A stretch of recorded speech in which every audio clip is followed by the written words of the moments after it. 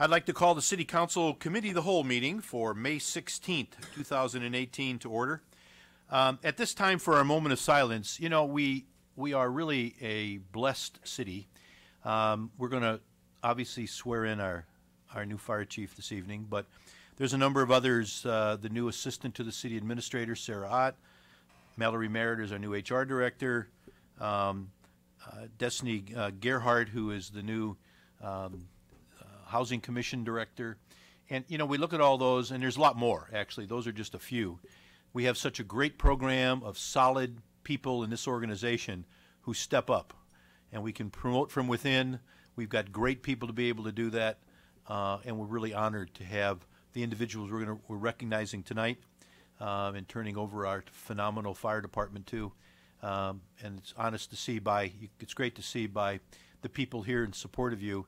Um, that's something good for everybody. So we want to thank you for that. Let's stop for a moment of silence.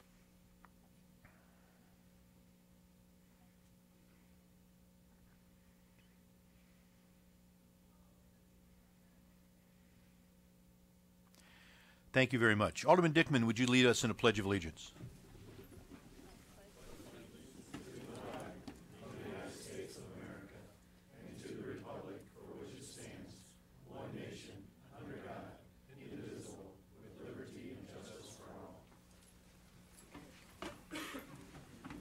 Thank you, Alderman Dickmann. Jackie, would you please call the roll?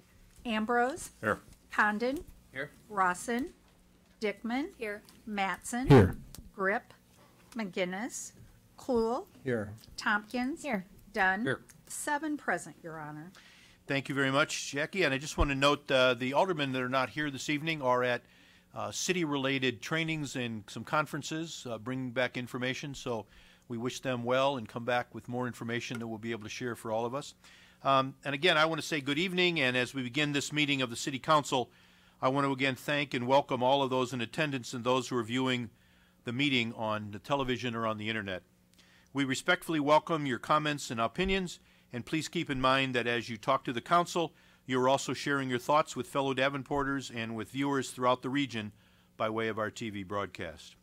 We're happy that you're here and participating in your city government and ask that your participation reflect the common desire we all share to make Davenport an even greater place for all of our citizens. For the children, adults, seniors, and families in our community, those in attendance and those watching at home, I thank you all for joining us. At this time, we ask that you turn off or silence your cell phones and other electronic handheld devices as they can be disruptive and they can interfere with the audio system here in the chamber. If you wish to address the, the council on a specific item that appears on one of our committee agendas, you're encouraged to do so during that standing committee. You'll also have an opportunity to address the council under public with business, which is that portion at the end of the meeting, which will occur right near the end. Uh, when addressing the council, I ask that you step to the podium, wait to be recognized by myself or the committee chair, and speak to the council as a body and not to any single member. We ask that you limit your remarks to no more than five minutes, and I ask that everyone, and I know you all will, observe the commonly accepted rules of courtesy, decorum, dignity, and good taste. So thank you again for being here. Um, there's a lot of we found a lot of great things, and a lot of good things we'll be doing this evening as well. Uh, is there a city administrator update this evening? Nothing this evening, Your Honor. Thank you. Uh, we have five public hearings this evening, um, and we have uh, community development as our first one, and Alderman Cluel will be leading that discussion in the absence of Alderman Gripp. Thank you, Mayor. I'd like to uh, open up the public hearing on case number ORD 18.01, amending Title 17.41 of the Davenport Municipal Code entitled Zoning, Highway Corridor Overlay District, and Elmore Corners Overlay District by creating an Elmore Corners Overlay District and design standards. Is there anyone from the public who would like to address the council on this issue?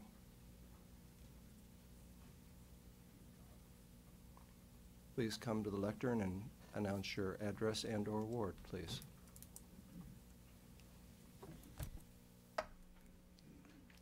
Good evening. My name is Candy Pasternak. I'm an attorney with Pasternak Law Firm. Um, I'm also a citizen of Davenport. I reside at 2931 East Locust Street, and our practice is located in downtown Davenport at 313 West 3rd. I am here on behalf of THF, um, the developer and owner of Davenport Commons, which is at the very south end um, of the area we're talking about in terms of uh, the Elmore Corners Overlay District.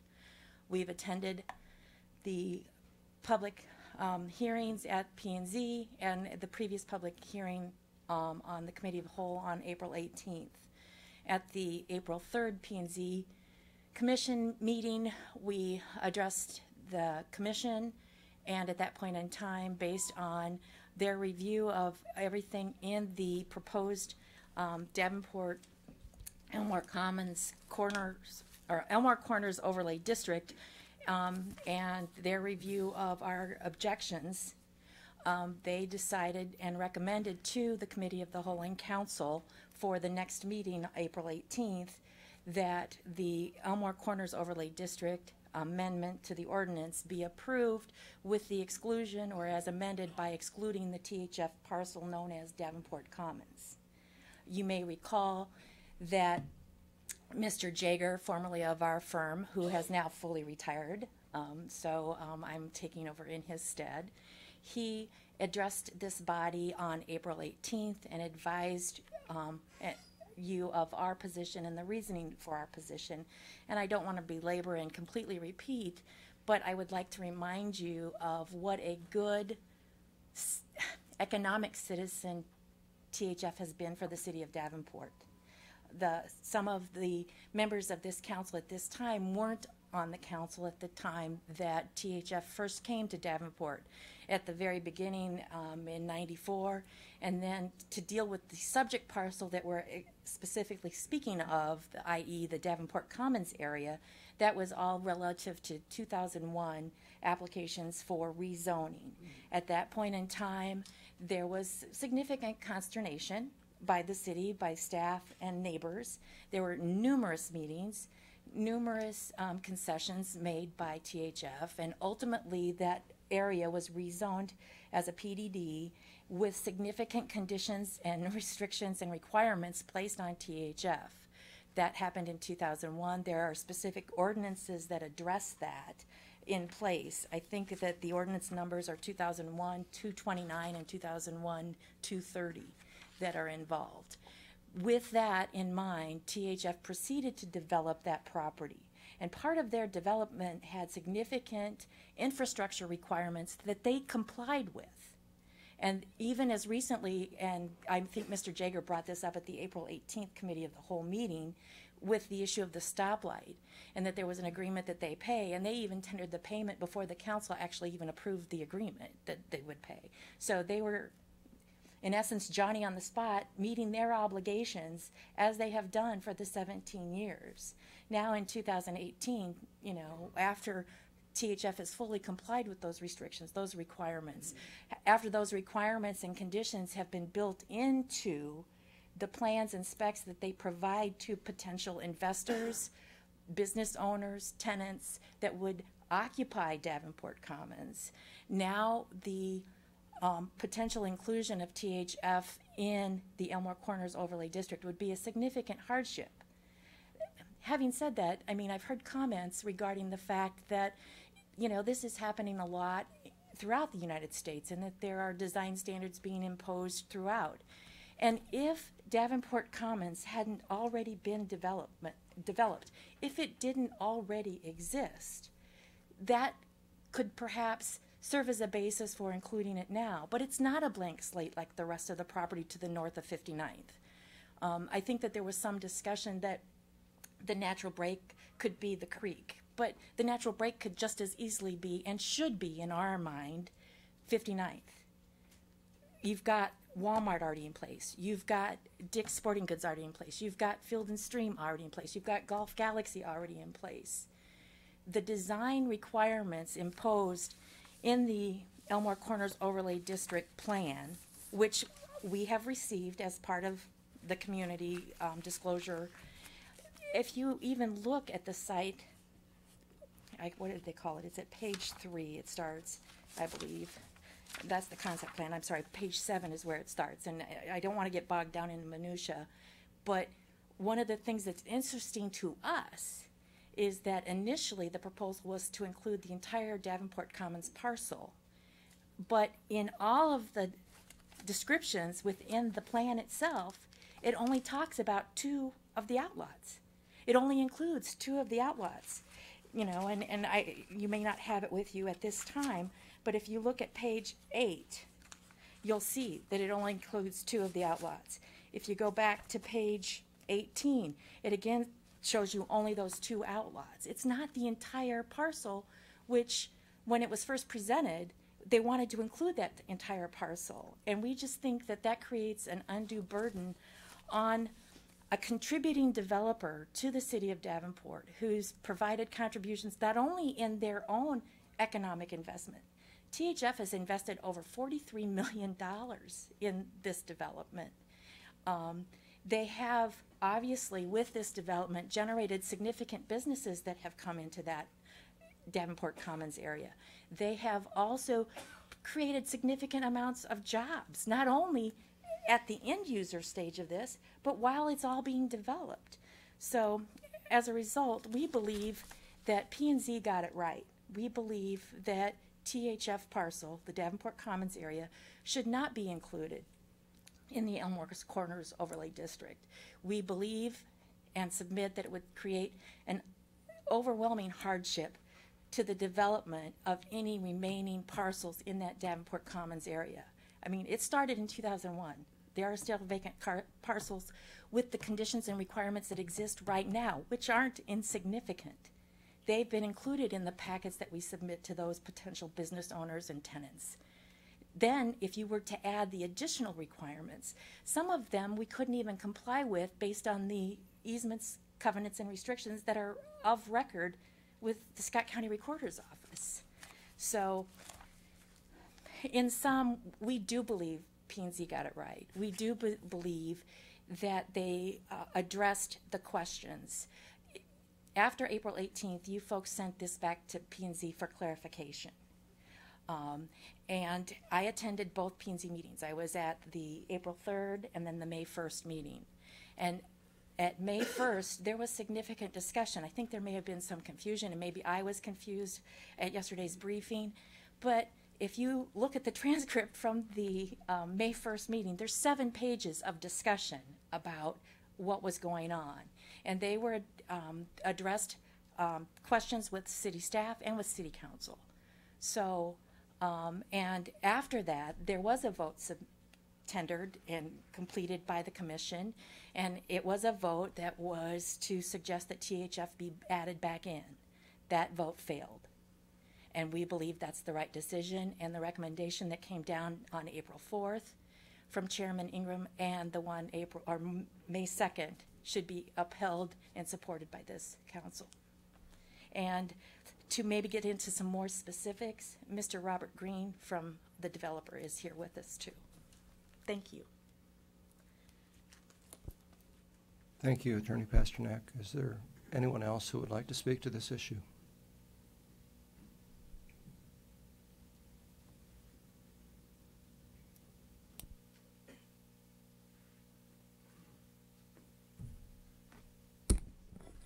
Council, good evening. My name is Robert Green. I'm here on behalf of THF Davenport North Development LLC. I'm going to ask for I your- reside- your address too, please. Thank you.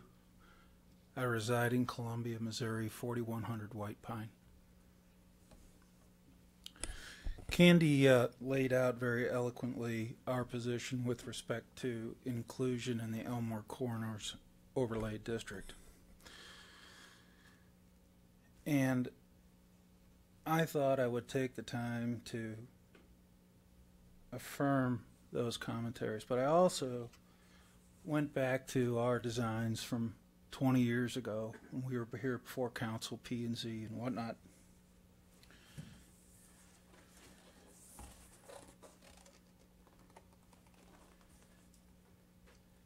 And I will bring before you to look at an exhibit that one person I know has seen, but to refresh everyone's memory.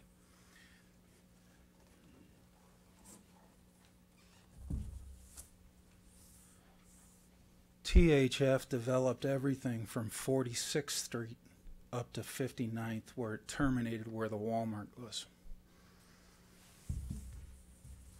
Excluding American TV, which is now Ashley Furniture and the Target store, and we acquired uh, Best Buy at the time. No, thank you.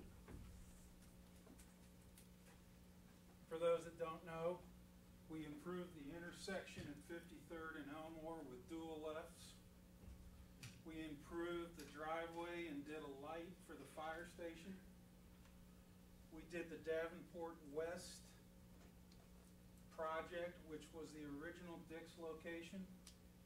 We did all of the out parcels except for Golden Corral. And we have a number of out parcels, only one remains down to 46th Street. We have approximately 13 acres yet to develop. It's usable of about seven, and we're just been waiting for it to come along.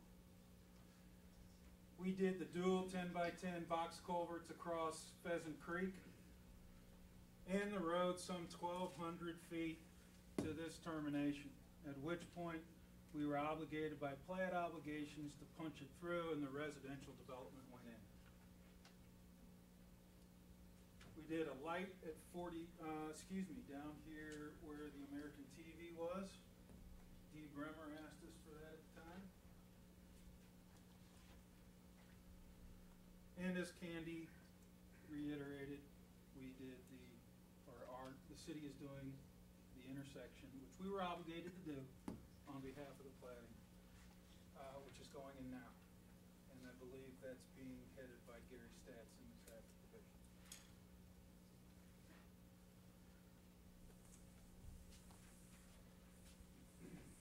Our investment in this community is by no means a small investment. We at one time were the owners of Northridge. We also own the West Kimberly project. I will tell you there are some things that I have a hard time with on the ordinance specifics that are included in the Elmore Corners proposed requirements. I'm interested in the growth of, develop, of Davenport as well as our property as well. But I will tell you, we are hard pressed to see a development that is has an appetite where it's harder to develop. And what I mean by that is there are almost no parcels from 46th Street to 59th Street that don't have a parking lot that encompasses the entire building. We have requirements, as Candy indicated, with our anchor retailer that requires certain level of parking spaces. That's in direct opposition to what's being proposed as an overlay requirement tonight and in the previous meetings. I'm all in favor of the Elmore Corners District north of 59th in our development.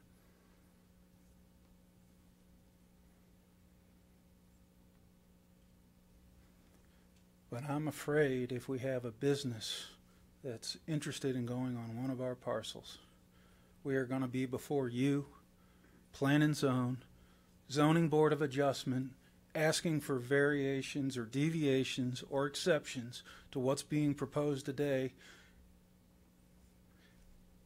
and we'll all look back to this day. I'm here for any questions you might have. This portion of the meeting is not open to uh, conversation with the council.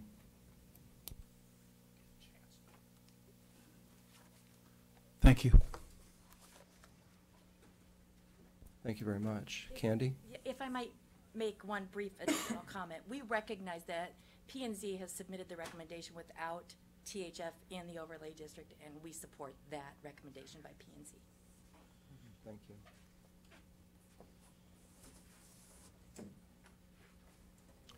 Is there anyone who, else who wishes to comment?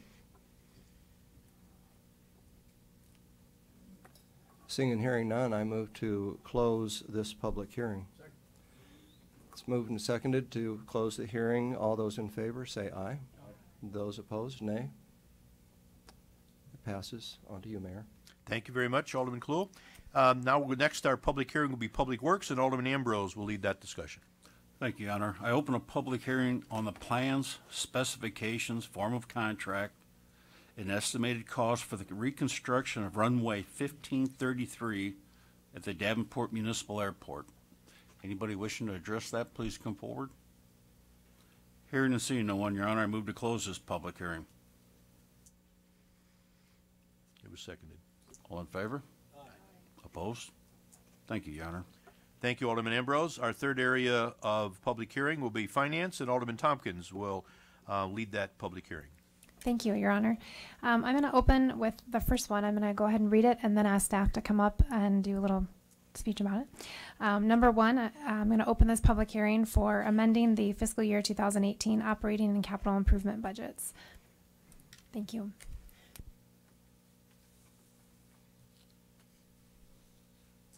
Uh, Good evening. Uh, Brandon Wright, Chief Financial Officer and Assistant City Administrator. Um, I'm here tonight to just talk a little bit about the fiscal year 2018 budget amendment. Um, As you'll know, every, every year during the month of May, we bring forward a budget amendment for you to consider um, for that. It basically is a- an accumulation of all of the changes that we make during the year, um, starting from that first budget plan to what happens during the year in order to, uh, to make sure that from the state level, we're in compliance um, with our regulations. So during the month of May, we, uh, if there are any changes to that plan, we have to do a budget amendment um, and adopt it before the end of May. Um, so this screen in front of you, I'm not going to ask you to read the numbers or anything like that, but this is technically the budget amendment. Um, it's, it's a one-page document. Uh, there's not a lot of detail to it because you can't see all the specifics about what's going on. Um, because we remain committed to transparency and making sure that everyone's aware of what those changes are. Um, in the packet that's available um, online, hold on a second if this works. There we go. You'll find several pages that follow this with a lot more explanation. I'm just going to quickly go through what those changes are for you. Um, so there are many, many changes that happen in a budget uh, during the year. Several, only a few of them are real changes to the plan. Um, the majority of it, by far, is bringing forward, forward grant awards so that we still are appropriated to be able to spend that money when we receive the grants. Um, also, the changes that happen with refunding bonds. Um, as, as you know, every year when we uh, when we go to the bond market, we have an opportunity to refund our bonds. That'll change the budget plan by about 10 to 12 million dollars, depending on the size of that, that refunding. Um, but the, the, as far as the actual changes to the original budget plan, there's only a few. Um, one of them was that we increased the health insurance line by 1.2 million dollars. Um, as you know, and, and as you know, many people know, health insurance costs continue to go up.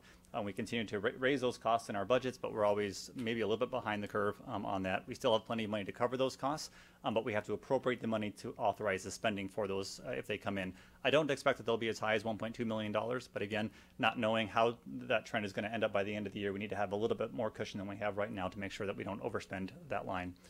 Um, we also have um, uh, a, change of sixty thousand dollars of some survey work that we actually ac- accidentally omitted from the original budget plan.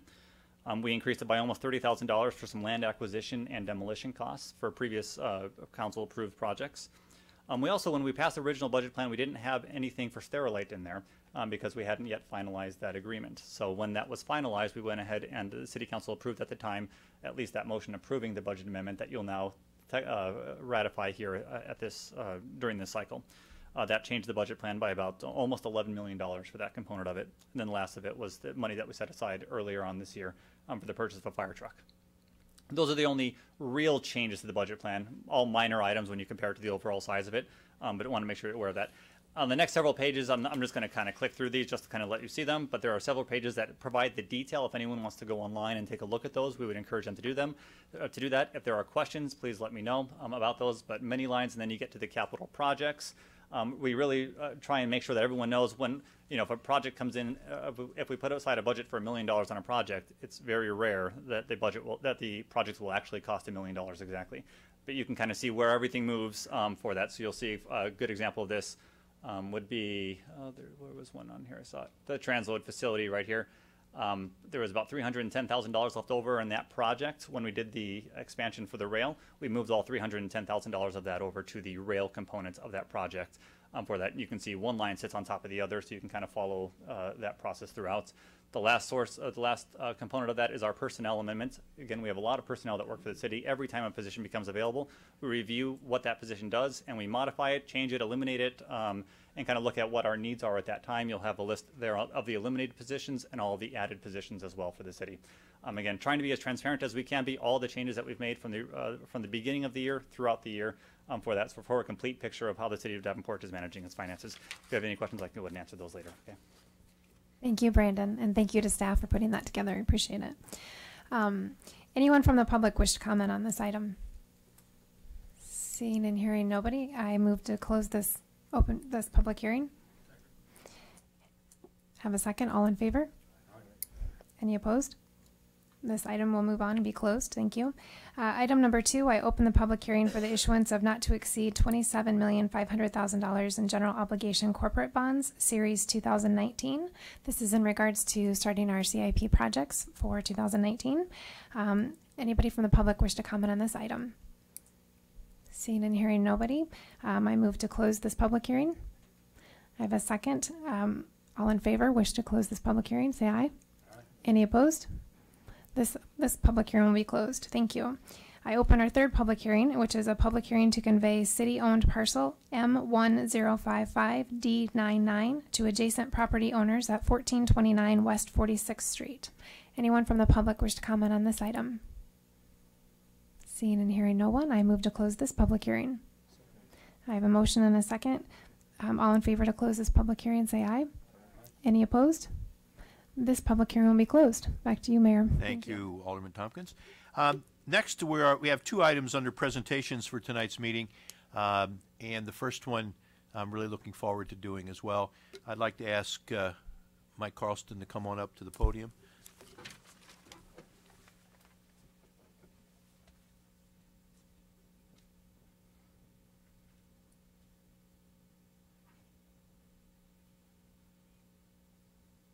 Get to do a lot of things in this job, but this is one of the nicest ones I get to do. and I'll congrat- Congratulate you at the All beginning. right, thank you. Um, So if you repeat after me, I get to swear in our new fire chief. All right. Um, Raise your right hand.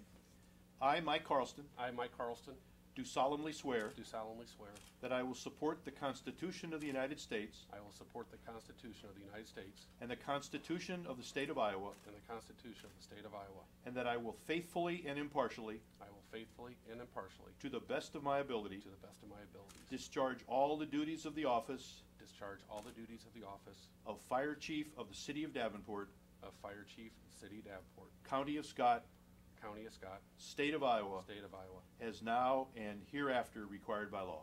as now and hereafter required by law. Congratulations, Chief. Thank you very much.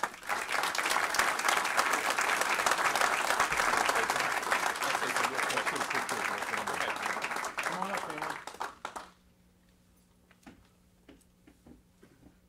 Anybody else want to come up? Mom, Dad, aunts and uncles, grandmas and grandpas, whatever.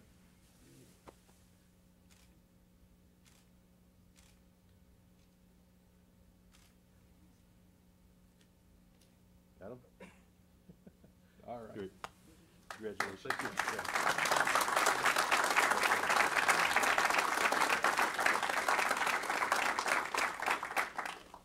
Just real quick, you'll come to learn that I'm a man of few words. Um, I pretty humble when it comes to some of these things, but I do want you to know I am excited and honored to have this responsibility. Um, if it wasn't for the great men and women of the Davenport Fire Department, I never would have made it this far. City Davenport gave me a chance 25 years ago, um, and I'm looking forward to keep moving forward.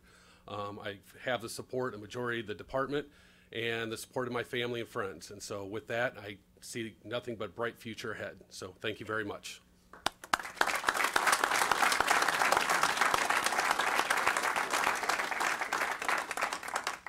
Uh, I'm not sure if I see, and again, congratulations, Chief. Um, I would just, uh, with my tongue planted firmly in my cheek, I just want to note, you, you are very succinct and to the point as opposed to the very, very, very talkative of Jim Bickford. So uh, that was good. He's dying for a chance to come up and talk, but no, it's your night, so that's good. I'm more than happy to let you Yeah, there you go. There you go. Um, I don't see, some, is someone from the convention and Visa Bureaus here? Oh, yes, they are. Great, great. Thank you. We're going to have a little. You guys can stay.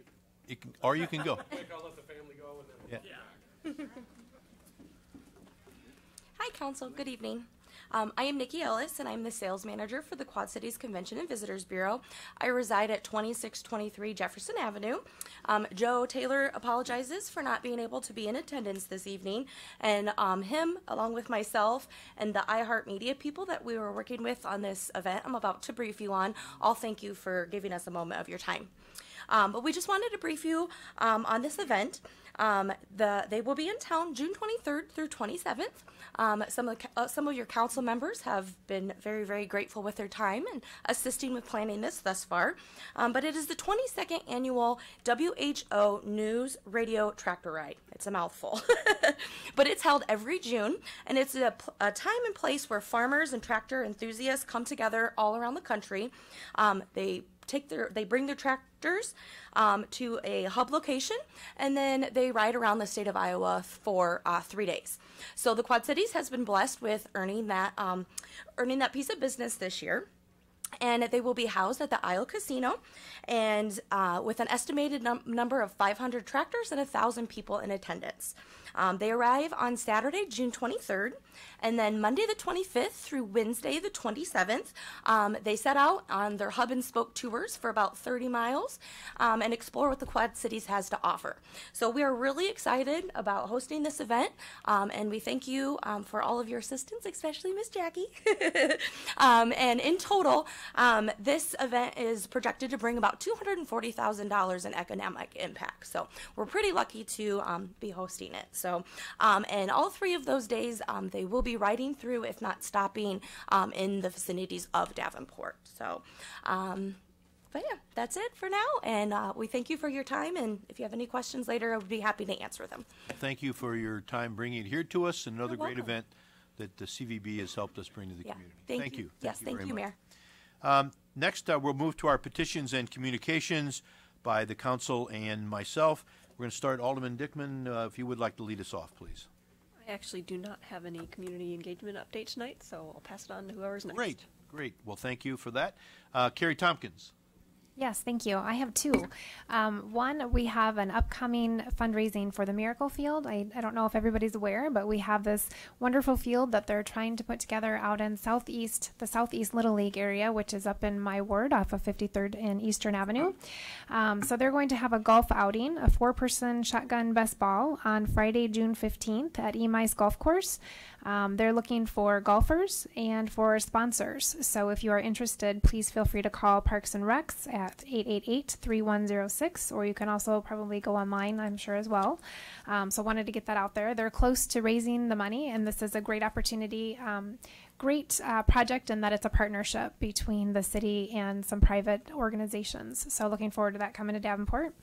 Um, and also, I have a ward meeting on Monday at KSI, Jane's Place in, at KSI um, at 6.30. And City Administrator uh, Corri Spiegel will be sharing uh, the budget um, and be there to answer some questions. So it is my ward meeting, but certainly it's open to the public, so anybody is welcome to come. Thank you.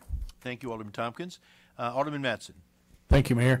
Um, two items. One, I attended the Honors Night at Central High School Monday and uh, continuing to talk about all the wonderful things that our kids do uh, in the city. Um, this is a school of about 1,400 kids, and hundreds of them were recognized for their academic achievements. Um, all of them in attendance that got recognized had to have over a 3.25 grade point average uh, for the first three uh, terms of this year.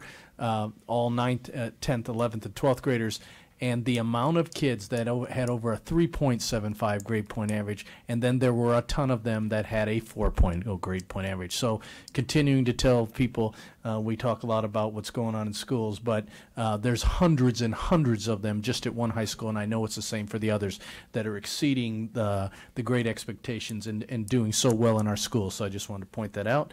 And then the second thing, um, if you uh, are interested, I'll have a ward meeting on Saturday uh, at the American Legion at 702 West 35th Street at 10 a.m. Uh, Seventh Ward. Um, we'll discuss many things. Um, so uh, we'll have juice and coffee and things. So if you're interested, you could go Saturday to mine and then Monday to Miss Tompkins. Thank you. Thank you, Alderman Matson. Uh, Alderman Cluel. Yes, a couple of uh, other ward meetings coming up. Uh, in the 6th Ward on the 21st of May at 6 p.m., we'll be having a meeting on stormwater management. Um, uh, city engineer Brian Schadt will be there for that. Uh, Interestingly enough, talking to Public Works, 90% of issues that come to Public Works have to do with water. And I found this very interesting. It's certainly an issue in the Sixth Ward, so anyone from Sixth Ward or anywhere is welcome to attend that at McKinley Elementary at 6 PM on Monday, the 21st. Uh, At 5 PM, preceding that ward meeting, we're going to have a a neighborhood meeting uh, talking about a proposed lift station improvement at the corner of East 18th and Marlow. Um, uh, There's just uh, some community members who are very interested in that, and we're going to have an update uh, from Ron Hawker on that. So a couple of things, both at McKinley at 5 and 6 on the 21st. Thank you. Thank you, Alderman Cluel. Uh, just very briefly, uh, I got back uh, this afternoon from uh, Washington, D.C. Um, we had some really good meetings, again, as part of the Mississippi River Cities and Towns Initiative, but talking about infrastructure. This was Infrastructure Week in Washington, D.C. Um, so there's individuals, all aspects of the infrastructure process throughout the United States and beyond. And we were talking about ways that not only Davenport, but the, all the river cities can participate in the much needed infrastructure items that we need to deal with, as well as resilience and flood management, uh, and how we can build unique new things and absorb the issues related to flooding as well. And then lastly, the importance of clean water. Uh, 20 million people a day drink from the river, the Mississippi River, um, and the importance of clean water for manufacturing, but also clean water to drink as well. So, uh, made some good contacts, some individuals that are looking to potentially do business here in our community, and we'll continue to work that moving forward. So, thank you for that. Um, we're next going to move on to our action items for discussion this evening, and the first area to be discussed is community development, and Alderman Clue will lead that discussion.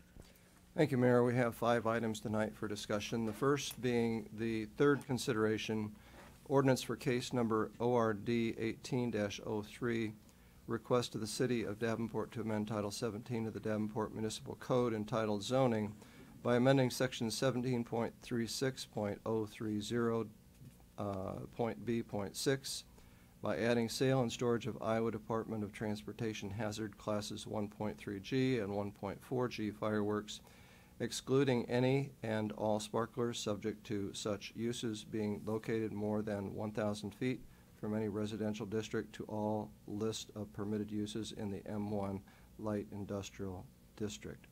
Is there anyone from the public who would like to comment on this item? Step forward, announce your address and/or ward, please. Larry Cornell here. I live at 705 Schular, Clinton, Wisconsin. Um, I was just brought aware of this ordinance. I apologize that I, I'm here on my, on the third reading.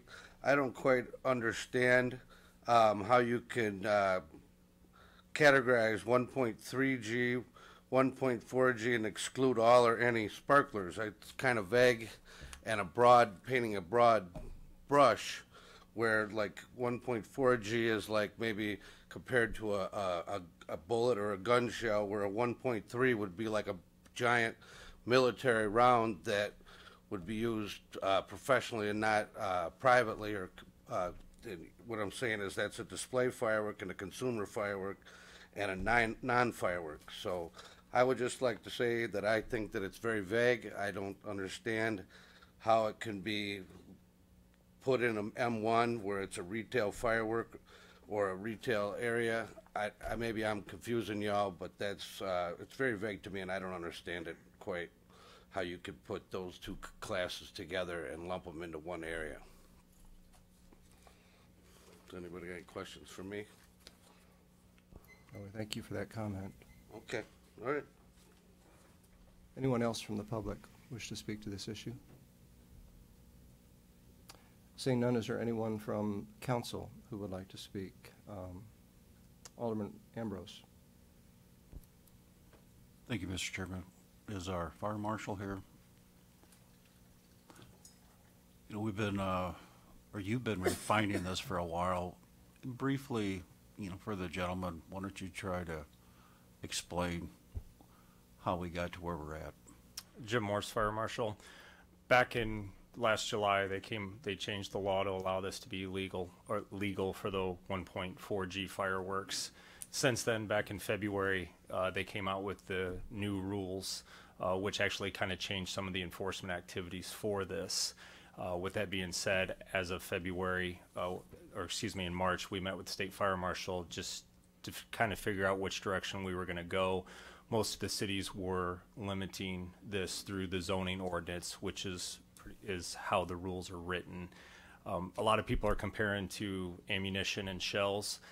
The, it, it's really not apples to apples because of the fact that a lot of those stuff regulated. We have people that are coming in from out of town that are setting up that aren't necessarily being safe.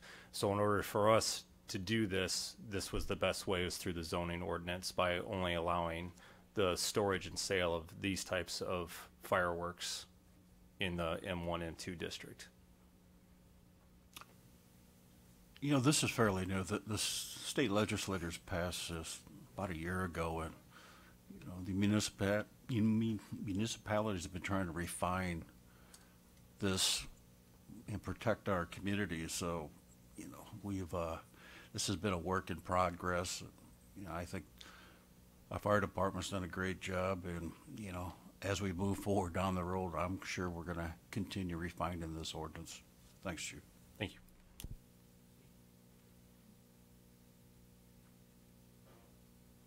Any other uh, questions from, from council? Uh, Alderman Condon? Um, my question relates to the sparklers. Uh, I've just have returned to this question a couple times. I'm just surprised that there's not some sort of notation like a 1.3G associated with the classification of sparklers. Is it going to be clear to the vendors and the public what qualifies as a sparkler or a novelty as opposed to not? We chose not to regulate the sparklers, uh, and it would be a 1.3 or professional display. Um, those are the ones that actually have a shooter's license. The 1.4 are going to be the consumer ones, and we we made the decision as a whole not to not to regulate the sparklers, whether they're 1.4G or the novelty type. But when you say sparklers, there's so many things that fall under that. No, there's only a couple different types of sparklers that that would fall underneath that Okay. 1.4. And we feel that we're going to be able to effectively communicate what fits that category. Correct. Alderman Matson. Thank you. Thank you, uh, Fire Chief. I just want to make comment. We, we struck, we've been talking about this and struggling with this for a year. Any, uh, any way we can support our public safety and w- w- last year we had retail fireworks all over the place. And to ask our, uh, public safety folks to go all over, uh, the city and, and try and figure out who had what, where, when, and what. Um, this is what we came up, and so we put it in one location so they can have a better chance of, of keeping an eye because what went on last year was way out of control. Thank you. Thank you, Alderman Matson. Any other comments from council?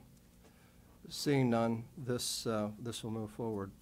The second item is a first consideration ordinance for case number ORD 18-01, amending Title 17.41 of the Davenport Municipal Code entitled Zoning, Highway Corridor Overlay District, and Elmore Corners Overlay District by creating an Elmore Corners Overlay District and design standards.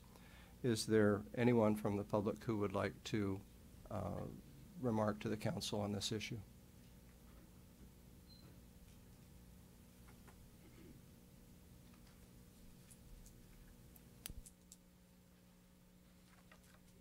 Candy Pasternak, again, Pasternak Law Firm, 313 West 3rd, re- personal residence, 2931 East Locust, Davenport.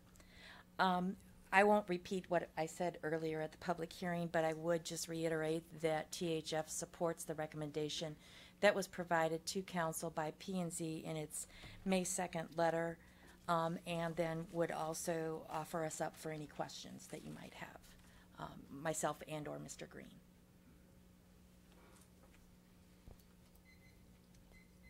Anyone else from the public?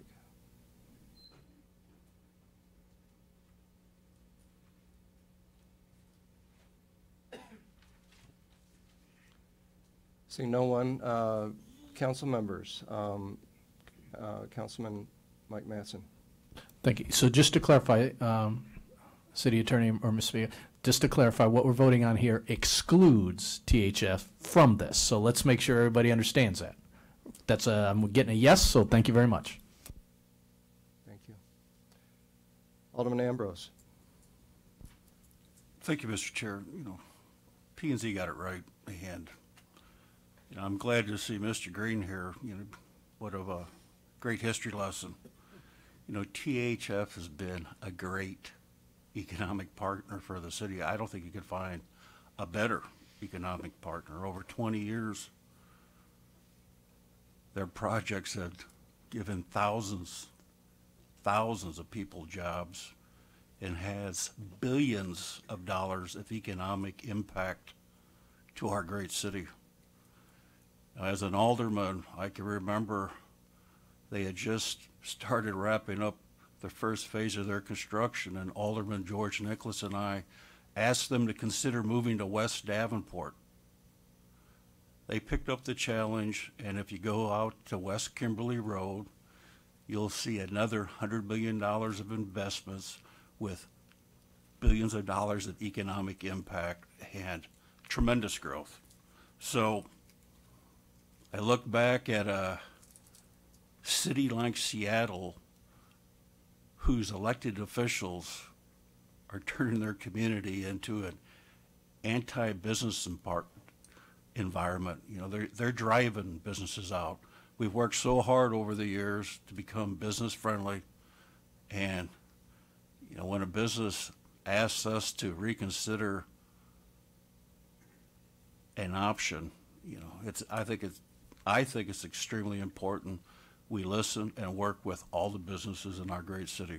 Thanks. Thank you, Alderman Ambrose. Alderwoman Dickmann. Thank you, Your Honor. Uh, yesterday at the meeting when we discussed this, there were some questions about what the differences were between the former requirements and what will be expected if the overlay did include the, the parcel in question here. Um, are we, we don't have to get, have it right now, but maybe before we take a vote next week, could someone come up and talk about that? Especially if any of the former requirements would be nullified because of incongru- be them being incongruent with the current ones, that would be really helpful. Thank you. And thank you also to the representatives from the law firm. It is great to have a, an investment partner that, that works with the city. Um, I don't think anyone on the council would say we don't want to work with you. I think we just want to find a way that we can do what's best for our community, provide the right amount of scaffolding, uh, and, and find a great way to move forward. So thank you for coming and speaking your piece on this. Thank you, Alderwoman Dickmann. Alderwoman Tompkins. Thank you, Chair. Um, I also just wanted to thank you for coming down tonight. I appreciate your time and explanation. Um, and I was actually just going to make the same request. Um, so if we could have that information, that would be helpful. Um, and again, just thank you for your time. No other comments from Alder, Alderman. Um, I think it's, uh, one of the great things about having three readings of, of things like this is that there will be opportunity for further discussion with the council and, and discussion, which I look forward to during the next two readings. Um, the next, uh, next item is, um, a resolution for the adoption of the downtown Davenport Streetscape Improvement Plan. Any public comment?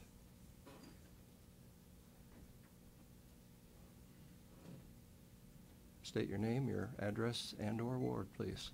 Uh, Kyle Carter, Fifth Ward, Executive Director for the Downtown Davenport Partnership.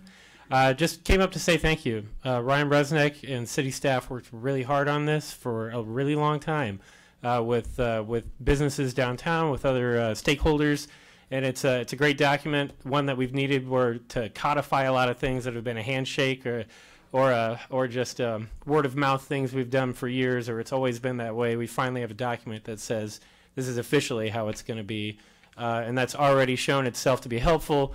Uh, in the creation of the Eastern Iowa Community College uh, streetscape that you see is a direct result of uh, this document being made. It was already being applied to that project while it was being put together, and it's the best streetscape we've got, and it's the model going forward. Uh, so I just want to say thanks to Ryan, thanks to the whole city staff, and this is a long time coming, and uh, appreciate this moving forward. Thank you, Kyle. Any other comments from the public? Seeing no, council, uh, Councilman Mike Matson. Kyle, I'm- Kyle, I'm cat- might catch you off guard or staff. Um, just maybe a couple highlights of what we'll see, if somebody wants to comment on that. Thank you.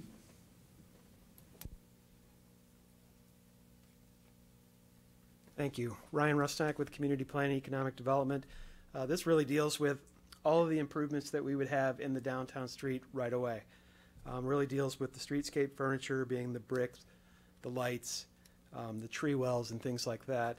Also covers a lot of the other things that you're starting to see in the downtown, like the encroachments. So uh, we did have a older document from 1996 that talked about this. Obviously, a lot of new technology has come along. Uh, for instance, the streetlights, the decorative streetlights that we can use now, um, can operate as as functioning streetlights for for the road. So we no longer need those big Cobra head lights. And so, really taking all of this, what the city's role is, what the partnership's role is, what business owners' role is, and updating this to the modern era. So, I'm very happy to be part of it. Thank you. Thank you. Ryan. There being no, no other uh, council member uh, requests for discussion, this item will move on. The um, number four is a resolution setting a public hearing on the proposed conveyance of former rights-of-way, those being parts of College, Lombard, Denison, and a public alley abutting the Genesis campus. Genesis Health System is the petitioner. Any public comment on this item? Seeing none, any comments from council? Seeing none, this item will move on. The last item is uh, a resolution supporting the great, the grant application and committed match to fund Historic Preservation Commissioners to attend the National Alliance of Preservation Commissioners Forum 2018, and that being in Des Moines, Iowa. Any, uh, any public comment? Council? Seeing none, this item will move on. I move that items one, three, four, and five move to consent agenda number two to discussion. It's been moved and seconded um, to move those items forward. Um, Call for a vote. All those in favor, say aye. Aye. Those opposed, nay. Motion passes. Back to you, Mayor. Thank you, Alderman Clue. Uh, our second area to be discussed is public safety, and tonight Alderman Condon will lead that discussion. Thank you, Your Honor. There is enough on the agenda, as, uh, uh, as this will be my first time reading out loud with you, so if I start to go under, come in, come in with me. Um, Item number one, third consideration, ordinance amending Schedule 14 of Chapter 10.96 entitled Intersection Traffic Signals by adding Elmore Avenue at the Walmart entrance, Ward 6. Is there any public with comment? Anyone on council? This item will move on. Item number two, first consideration, ordinance amending Schedule 14 of Chapter 10.96 entitled Intersection Traffic Signals by adding Division Street at 76th Street, Ward 8. Is there any public with comment? Council? This item will move on. Item number three, resolution closing various streets, lanes, or public grounds on the listed dates to hold outdoor events. Bucktown Center for the Arts, Artworks Expo Pastel Competition, May 26, 2018, 8 a.m. to 6 p.m. Closure location, Pershing, between 2nd Street and Emerson Place. Anyone with comment? Council? This item will move on. River Music Experience, RME Anniversary Concert, June 8th, 2018, 12 p.m. to 11:30 p.m. Closure location: Second Street between Main and Brady Streets, Ward 3. Is there any public with comment? Council? This item will move on. Davenport Public La- uh, Library Bix Porch Party, August 2nd, 2018, 6 a.m. to 2 p.m.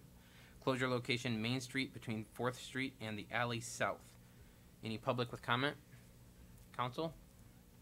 This item will move on. Abate of Iowa District 15, Toys for Tots Motorcycle Parade, October 7th, 2018. Closure locations starting at Walmart, Hillandale South to Hickory Grove Road, and south to Division Street, south to 3rd Street, east to Brady Street, north to Kimberly, and east to the former Hobby Lobby parking lot. Is there any public with comment? Council? This item will move on. Lagomarcinos, Lagomarcino Coco Bino 5K, October 27th, 2018, 6 a.m. to 1 p.m. Closure location, Christie Street from 11th to 12th Street, 11th Street closed from 6 a.m. to 1 p.m. to Hillcrest, River Street, McClellan Boulevard, Wood Lane to Forest Road, crossing into Bettendorf, then East Mere to Middle Road, to Kenwood Avenue, to McClellan Boulevard, to East 11th Street, Ward 5 and 6. Is there any public with comment? Council? The 5Ks are normally my favorite ones to read because I sit next to Rita and I can just close my eyes and pretend that I'm running the course. But I'm actually sweating when I have to read it out loud, so it's less fun.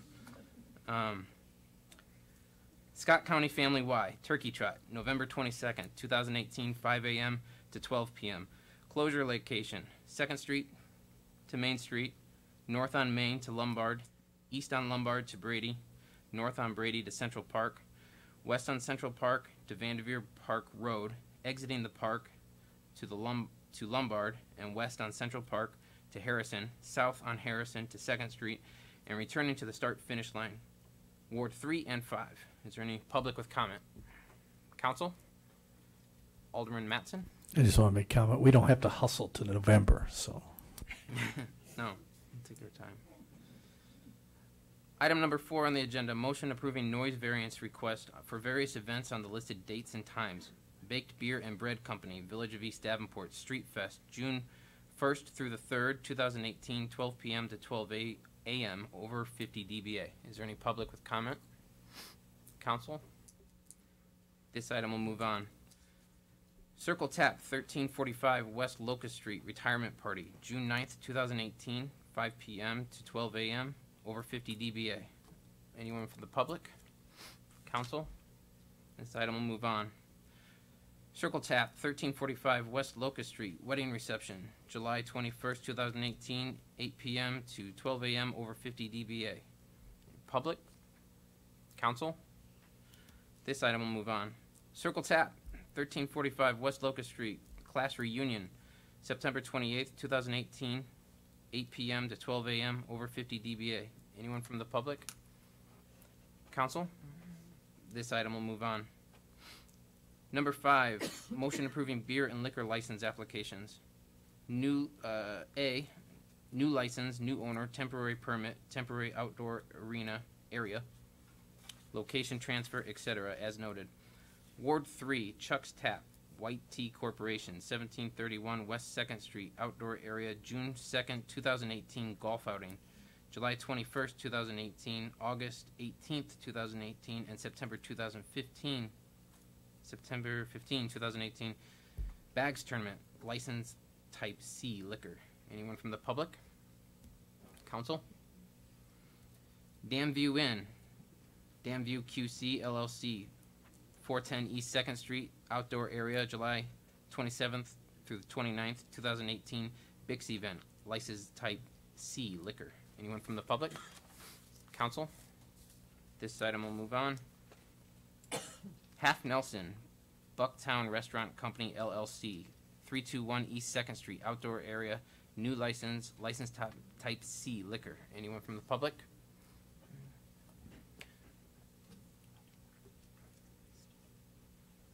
Please state your name and ward.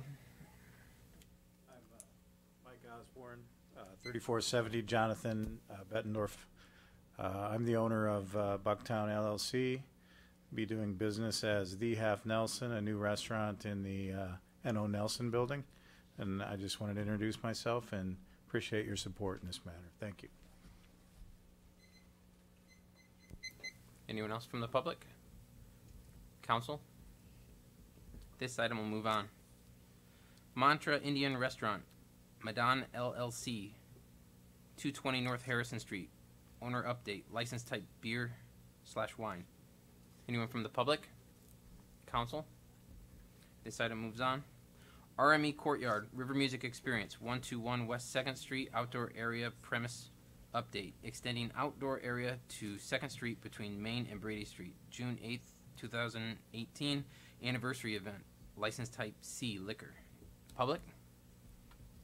Council? This item will move on.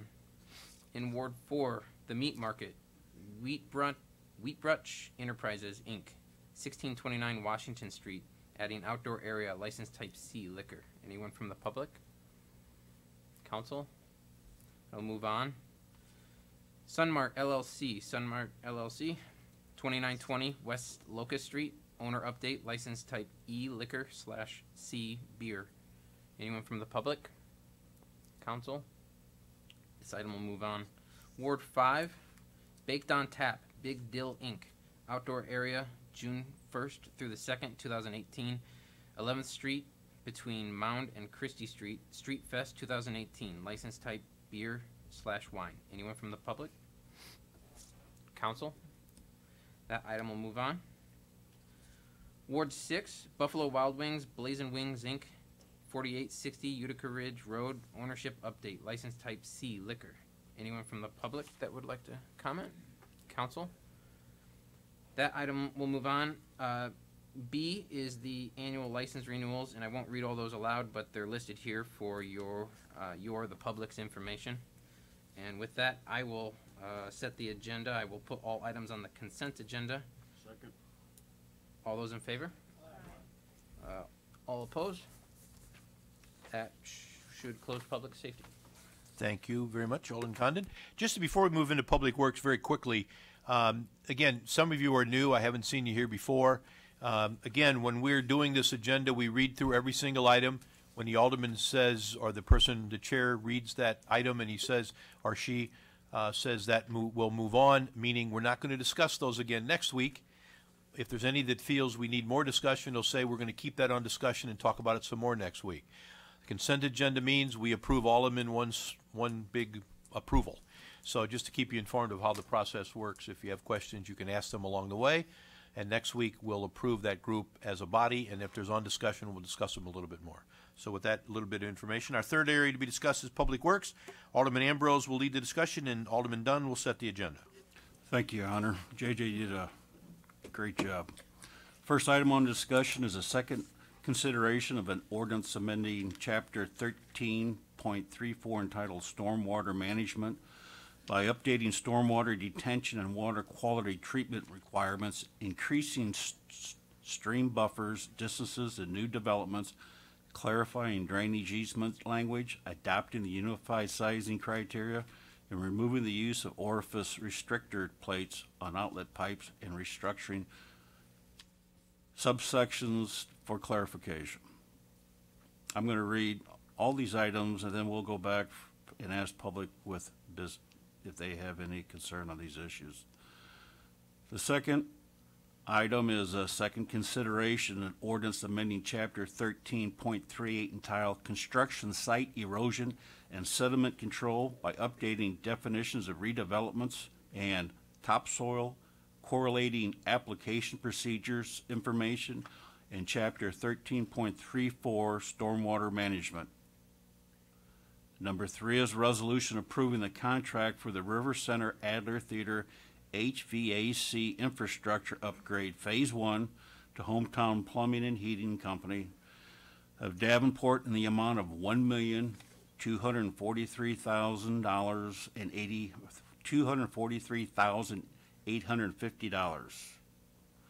Number four is a resolution amending change order number eight to McCarthy Improvement Company in the amount of $187,000 for the Forest Grove Road paving project from Utica Ridge to the east tie-in in Bettendorf city limits. The amendment is to account for unforeseen conditions and finalizing of construction qualities. The city of Davenport will be responsible for $59,200 while the state of Iowa will cover one hundred twenty-seven thousand eight hundred dollars. Number five is a resolution approving the plans, specifications, form of contract, and estimated cost for the reconstruction of runway fifteen thirty-three at the Davenport Municipal Airport. Number six is a resolution awarding the FY nineteen sidewalk program contract to Kelly Construction of Davenport in the amount of three hundred ninety-seven thousand four hundred seventy-five dollars and eighty cents. Number seven is a resolution approving the blanket contract for the purchase of hot mix asphalt from McCarthy Improvement Company of Davenport, Iowa, in the amount of fifty thousand dollars or fifty dollars per ton, and a backup contractor, Tri-City Back Blacktop of Bettendorf, Iowa, in the amount of fifty-three dollars per ton.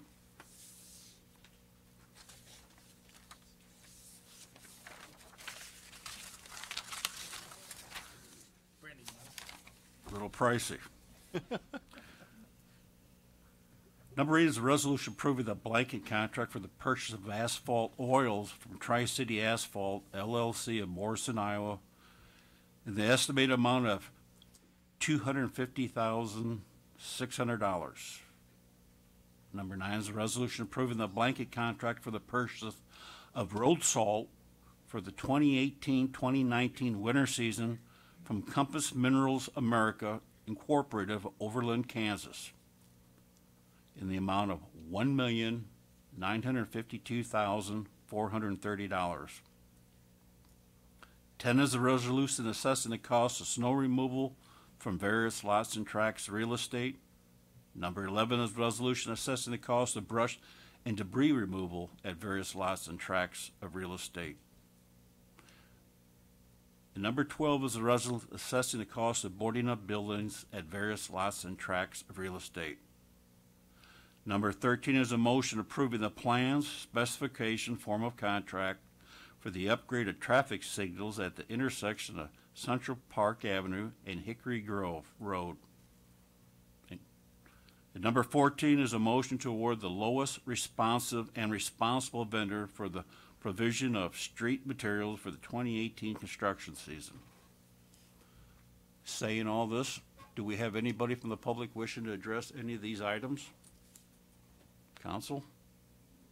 Alderman Matson. I just want to say on the salt thing, we do that way ahead of time so we save some money and don't wait till the last minute. So that's a smart thing to do. Bye. Thank you. That's why we're America's greatest city. Alderman Cluel. The salt issue as well. Um, I wonder if we're trending more or, or are we trending down in terms of salt usage combined with the solution that we're using?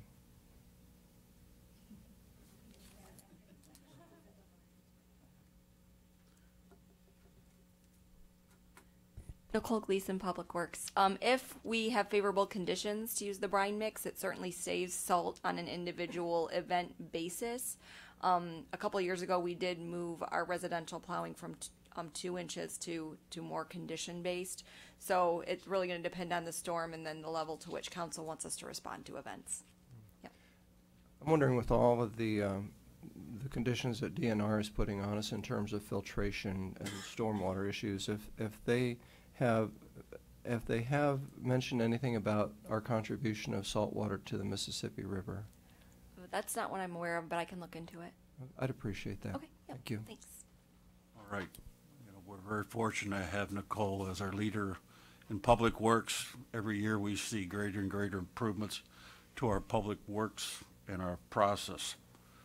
All right, Alderman Dunn, I would recommend. please set the agenda. Thank you, Alderman Ambrose. I'd recommend placing all items on consent, please. We have a second? Second. All in favor? Opposed? Thank you, Your Honor.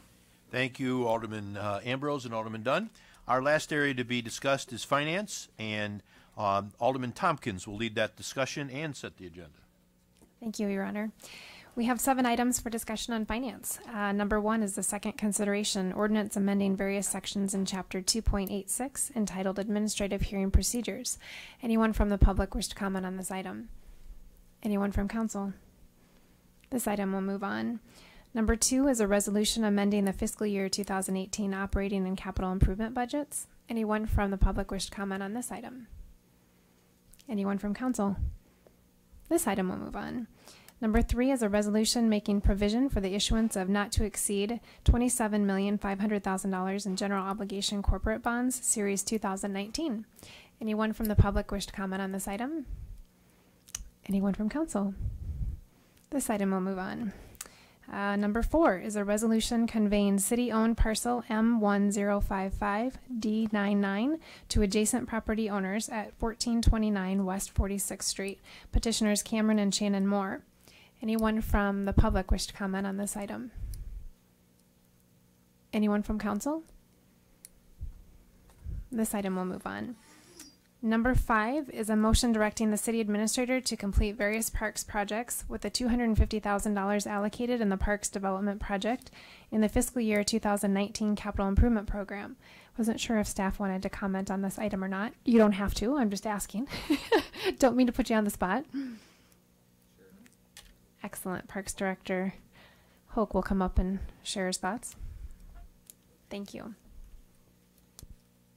Thank you. Scott Hock, Director of Parks and Recreation.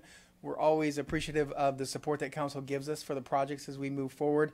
Um, I, we have several on this agenda. We have two playground replacement, one at Peterson Park and one down at Credit Island. We have just some general upkeep items that are helpful too with some improvements to junior theater windows, which is being partially matched by Junior Theater Inc. with some sponsorship. We have some uh, improvements down at the river's edge with some ADA um, countertops and things like that. So again, some great projects on the list again this year. Uh, Brandon is very excited about the Ninja Warrior playground equipment that's going in at Credit Island. Um, so we are looking forward to that one happening this summer. So or probably this fall. So thank you. Great, thank you so much. We appreciate it. I know there's lots of things, um, and so it's hard to make those decisions to narrow it down to the 250,000. But thank you. Anyone from the public wish to comment on this item? Anyone from council? Alderman Matson. You wanted to go check out the Ninja Park too? Okay, I'll say it. I just look forward to his update next year. Perfect. All right, we're going to move that one on. Item number six. uh, motion awarding a contract for a consultant for ADA specification plan review services to Disability Access Consultants of Arlington Heights, Illinois. Anyone from the public wish to comment on this item? Anyone from council? This item will move forward. And last, number seven is a motion approving the collective bargaining agreement for the Davenport Association of Professional Firefighters, local number 17. Anyone from the public wish to comment on this item? Anyone from council? Uh, Alderman Matson. Thank you. I just want to say great job to everyone involved. Five years this, and uh, good raises, so thank you. Absolutely. Um, Alderman Ambrose. Thank you, Madam Chair. Do we have someone from staff to give a overview of this contract for the public?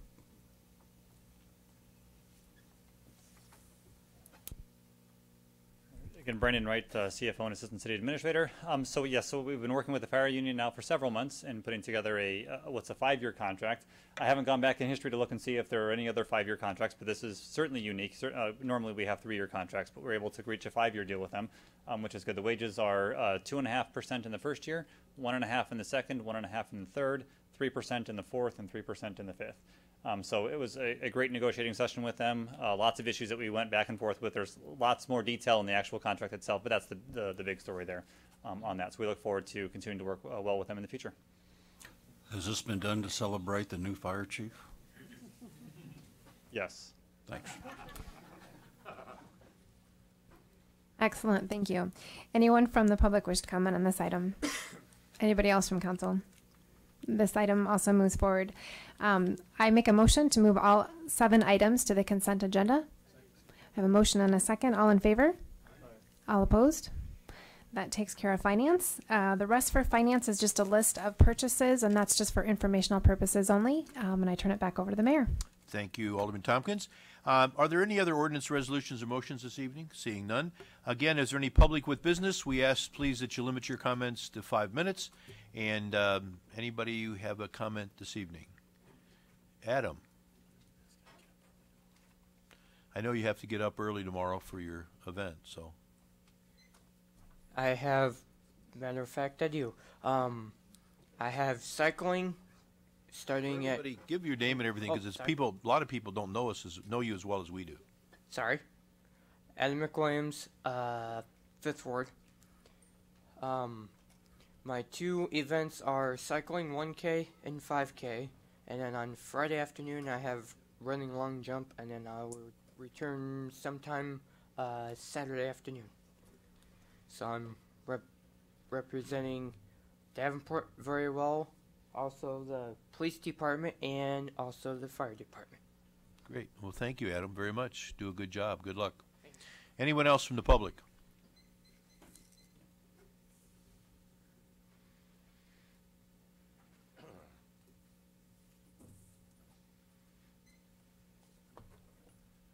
Bill Handel, uh, 1514 West High Street, Davenport, uh, also Nashville, Tennessee. I'm a retired architect. As always, thanks for the opportunity to speak before you folks tonight. And uh, the item I'm going to talk about right now is going to be not Davenport, but actually Rock Island. But uh, since the Quad Cities are so intertwined and, and uh, in, at the Figge uh, earlier this year, the mayor introduced our sister city uh, from, was it Scotland or Ireland?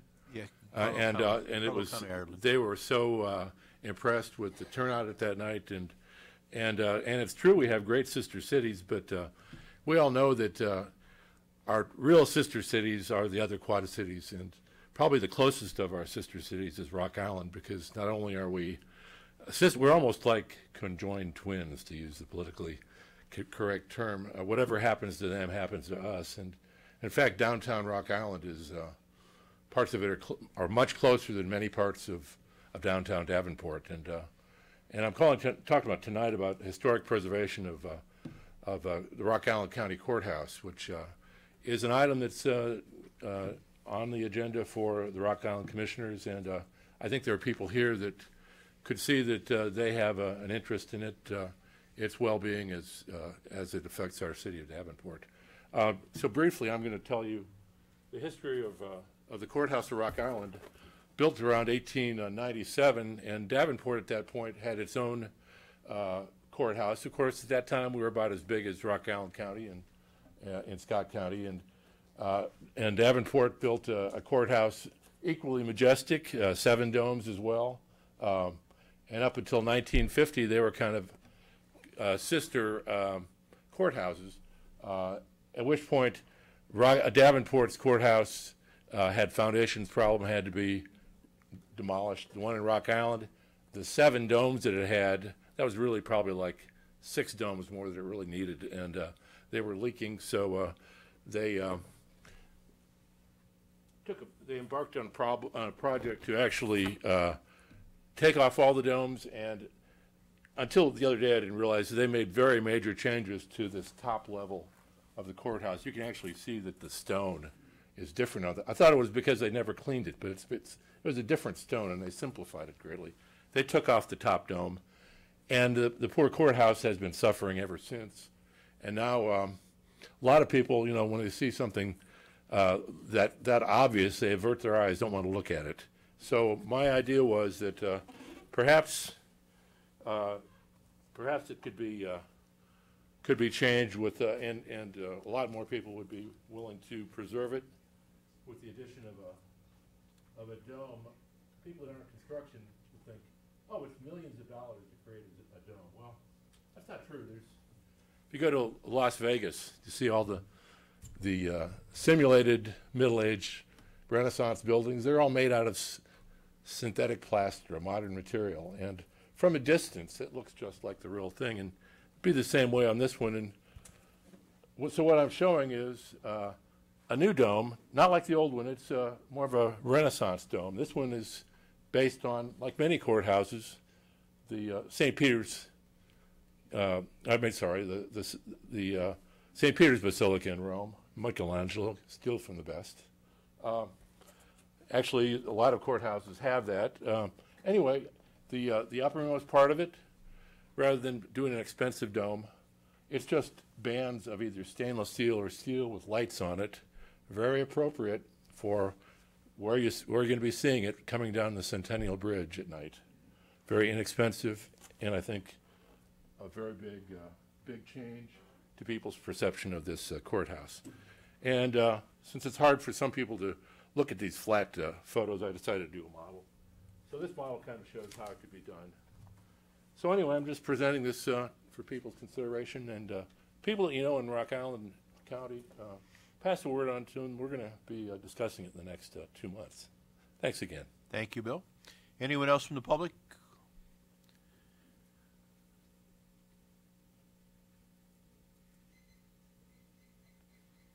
Relax, it's good. Okay. Um, first of all, I would like to thank Alderwoman Tompkins for taking care of an issue that I had reported on Eastern Avenue. Thank you for very quickly following up on that. And second, I want to express my support for the appointment of Mike Carlsten to succeed me as fire chief. I, during my tenure, I saw firsthand the effort that Mike put forth to increase his knowledge, to gain experience, and I supported that for him. I am confident that he will continue the hard work that I and all the other chiefs before me put in to keep Davenport Fire strong. I look forward to continued progress of this department under his leadership. I also look forward to his participation in the Missouri Valley Division Chiefs Conference this summer, which will be a tremendous opportunity, along with Chief Evers from Muscatine and Chief Brown from Clinton, to showcase our Eastern Iowa River Fire Departments for the other chiefs from the eight states that will be in attendance. I think, and it will also be specifically a tremendous opportunity for Chief Carlsten and the department to really showcase our award-winning, incredible Central Fire Station. Thank you. Anyone else from the public? Seeing none, um, are there any other reports of city officials? Seeing none this evening, is a motion to adjourn? Second, all in favor say aye. Any opposed, same sign. Adjourned.